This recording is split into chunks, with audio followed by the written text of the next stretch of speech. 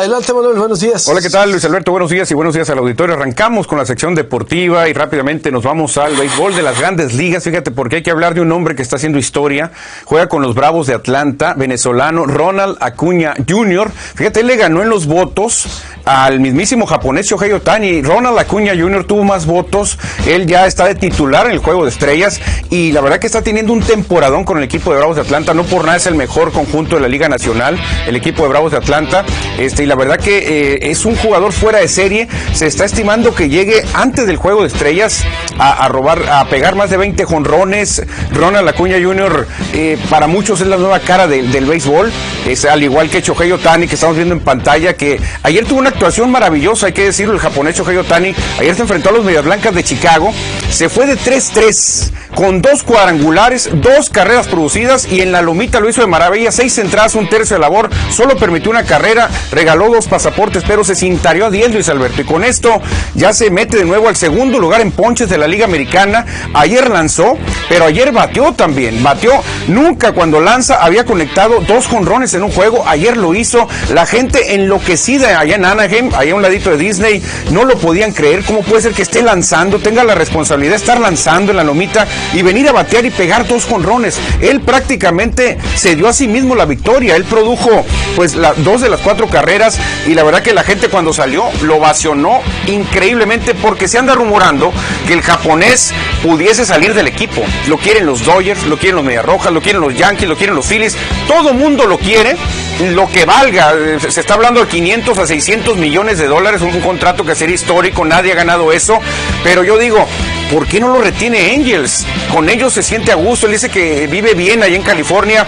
Yo, si fuera el presidente de los Angels, le diera todo Disney. Es más, los dos complejos de Disney, tómate los doy, pero no te vayas, porque si se va este señor, primero se te acaba el, marketing. Todo Asia está esperando los juegos de Otani. Japón, la verdad que se vuelve loco con estos juegos. Y pues obviamente yo lo, lo retendría dándole lo que quisiera. ¿Te gusta Disney? Te doy este y el otro. Te doy los dos, la verdad, porque lo vale, lo vale este señor Shohei Otani. Es un fenómeno, te lo recomiendo, Luis. Mucha gente piensa que es un robot y ahora con la tecnología dicen, es un robot, no es humano, es lo que está diciendo la gente. Tan bueno de, que es este jugador, ¿eh? Órale, qué buena, qué, qué buena información. ¿Cuántos años tiene? Shohei Otani debe tener unos 32 años, algo así. Ya no está tan joven porque tuvo, tuvo carrera por allá en Japón. Ya ganó el campeonato mundial con Japón también. La verdad, este señor lo hace todo bien. Y luego no de escándalos. ¿eh? Siempre está tranquilito. El problema es ese. Mucha gente dice, lo van a dejar ir, no van a tener para pagarle. Yo juntaría dinero y, lo mantengo con Angels. Ahorita Angels eh, está muy cerca del comodín, está peleando comodín. De hecho, ahorita estaría dentro de la postemporada como tercer comodín, ahí peleando muy de cerca. Angels hace rato que no da una buena nota y ahora con Otani lo está haciendo. Tienen a Mike Trout, acaban de contratar a Mike Mustacas que ayer ayudó. Entonces yo la verdad lo retendría, pero yo no soy el dueño de los Angels, Luis Alberto. Pero mi consejo es que se quede el japonés con el equipo de Angels ahí de Los Ángeles. 28 años me dice que sí. Ah, 28 años, perfecto. Ah, qué bien, que nos dicen. Yo lo estaba poniendo un poquito más viejito a Shohei Otani. Ya no es un jovencito como se espera. ¿Qué viejito? ¿Qué nos dejas a mí? No, no, no, digo para los beisbolistas, Luis. No, la verdad que para el béisbol ya, ya no es tan jovencito Shohei Otani.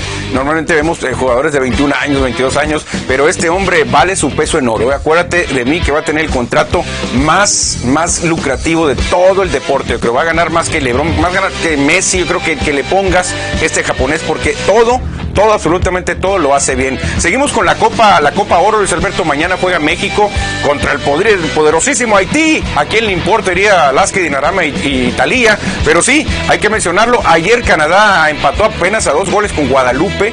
Guatemala le pegó uno por cero a Cuba. Y para hoy tenemos también dos encuentros. Este, eh, Jamaica contra Trinidad y Tobago a las 4.30 y San Kitts y Nevis contra Estados Unidos a las 6.30.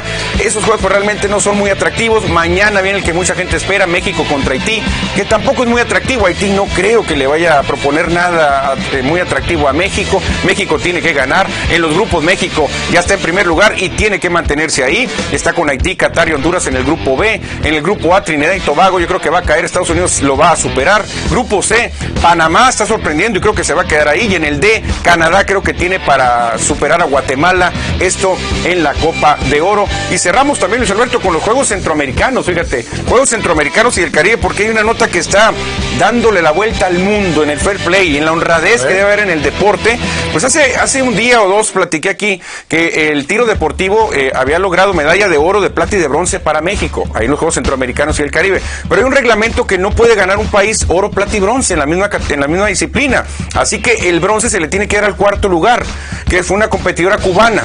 Entonces dijeron, señores, la medalla me la da, por favor, a ver, mexicana, me la da y se la vamos a poner aquí a la, a la competidora cubana, Laina Pérez. Pero Laina dijo, no, no, no, señores, yo no voy a tener una medalla que no me la gané deportivamente, así que a ver, ¿dónde está? Dice, quien hizo el reglamento no fue atleta y si lo fue se le olvidó enseguida. Es injusto que alguien se lo gane por ser de mis compañeras anteriores. No se la lleve, no sé, y que no se la lleve a su casa. Es absurdo y no sé en, en tiempos anteriores por qué pasaba eso. La medalla no es mía, dijo de ella y fue y se la pone a la mexicana. Esta medalla te pertenece, el reglamento me importa un cacahuate, tú te la mereces, tú te la ganaste y es tuya la medalla. Así que la mexicana recupera la medalla. México no, ¿eh? México no. no le va a contar, le va a contar a Cuba. Pero ella dijo, no, pero la medalla es tuya, tú te la ganaste. ¿Cómo la ves con el reglamento? ¿Qué es eso? A ver, a ver, nos quedamos en multiplataforma, permítanos. Pues vaya, hasta en el deporte se da también, a ver cuando... Sí, fíjate Luis Alberto, porque estamos atravesando en el deporte por un momento medio oscurón, donde el deportista busca hacer trampa, donde el deportista busca engañar al, al al árbitro, al referee, buscan aprovecharse, pero el fair play siempre tiene que estar por encima de todo, Luis Alberto. Y esto que hizo la cubana, la verdad que pone un ejemplo de decir, señores, si yo quedé cuarto lugar, cuarto lugar no alcanza medalla, pero aquí hay un reglamento, no importa, pero yo no me la gané la medalla. Yo no me la gané, yo creo que vio la tristeza de la competidora mexicana y dijo, no, no, no, la medalla te la regreso, es tuya, es tuya la medalla. Por el reglamento pues no se puede hacer nada, ya eh, los juegos la medalla se la van a poner a Cuba en, el medallero, que, México ya eh, retoma el primer lugar, está en primer lugar México en el medallero, este, pero el momento se lo lleva esta competidora cubana, la verdad, qué, qué, qué manera de demostrar al mundo deportivo lo justo, ¿no? Yo no la gané, se la merece la verdadera ganadora que quedó en tercer lugar, así que el reglamento pues dice, está ok, pero no, no me convence y le dio la medalla a Luis Alberto. Ahí quedó grabado para la historia como muchos deportistas, si se dan cuenta que, que eh, otro merecía ganar y que ellos fueron por trampo, por algo, deben de hablar y decir, señores, no me corresponde a mí, la verdad, no fue penal o esto y el otro, hay que decirlo y creo que vamos a ayudar mucho al deporte. Pues sí, la verdad sí, que vaya, vaya suceso, no sé, es muy poco común que se dé esto. ¿eh? Es muy poco común, obviamente, ¿quién va a querer desprenderse de una medalla, no? La verdad que eh, casi nadie, casi nadie quisiera desprenderse de, de, una medalla, pero esta competidora cubana dijo, no, no me la gané yo, deportivamente no la gané y se la doy a quien se la ganó. La verdad que increíble, yo creo que le fue mejor haciendo esto a la competidora cubana. Totalmente. Manuel, ¿algo más? Vamos, nos quedamos con tiempo extra. Nos quedamos con tiempo extra. Fíjate, viene Héctor Rodríguez, eh, analista aficionado de boxeo, ha cubierto más de 40 peleas de campeonato mundial. Vamos a tener una plática muy interesante de sobre todo lo que anda en el tema eh, del momento. Ya Canelo firmó eh, tres peleas, un contrato de tres peleas, pero hay, hay algunas cositas eh, que vamos a platicar ahorita y por qué la gente no quiere reconocer a Canelo como el más grande. También hablaremos bueno. de eso, porque mucha gente no, no, nunca Canelo, aunque le gane a un marciano, nunca va a ser el mejor de la historia de México. Ahorita vamos a platicar todo eso en tiempo extra.